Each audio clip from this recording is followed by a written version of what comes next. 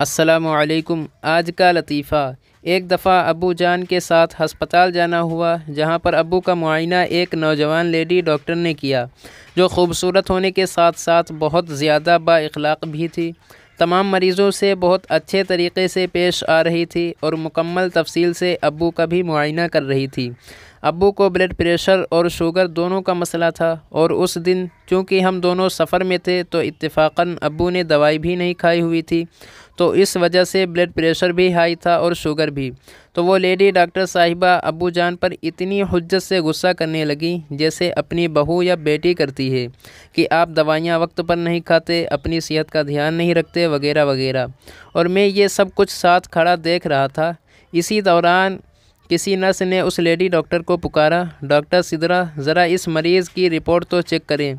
Doctor Sidra का नाम सुनते ही मेरे दिल में पैदा होने वाले नेकी के जज्बे ने कलाबाजी दिखाई और डॉक्टर सिदरा से शादी करने का मुझे ख्याल आया। मैंने अब्बू के कान में जाकर कहा, अब्बू, अगर डॉक्टर सिदरा हमारे अपने घर में होती तो आपका कितना ध्यान रखती।